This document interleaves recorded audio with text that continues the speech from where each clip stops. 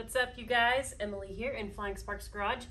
And I've got the brakes taken apart on our Datsun. And upon reassembly, I will be using CRC's synthetic brake and caliper grease. We use CRC's synthetic brake and caliper grease on our disc brakes, drum brakes, and ABS systems. The key points as to why this product is so important to use is it resists moisture and will not wash off. When we use this grease on our brake jobs, we prolong the life of our brake pads, rotors, drums, and shoes. We use it on all metal-to-metal -metal contact points and sliding surfaces to lubricate and prevent seizure. It maximizes our brake efficiency, prevents brake noise, and it's safe on all the plastic and rubber.